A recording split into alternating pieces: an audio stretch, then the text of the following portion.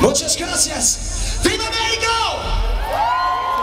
Ah, beautiful, beautiful.